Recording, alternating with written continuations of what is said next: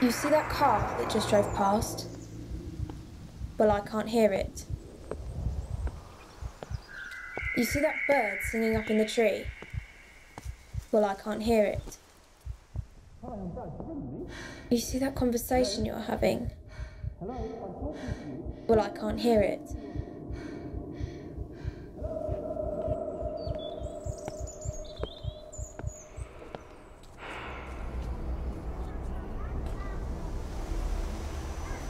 You see that music that you're listening to? Well, I've never heard it.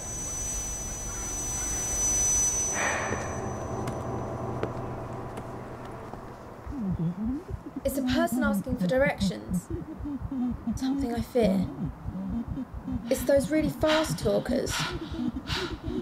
A movement that just isn't clear. It's the crossing of a road. Not realising that car is near. The feeling is odd when the sound comes and goes. It's recognising the small things. An impairment that wasn't chose.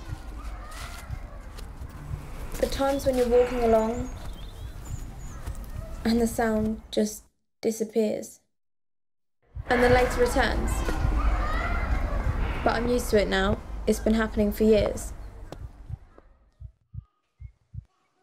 Although it's a whole different life, I have to admit, sometimes I actually don't mind. I quite like it.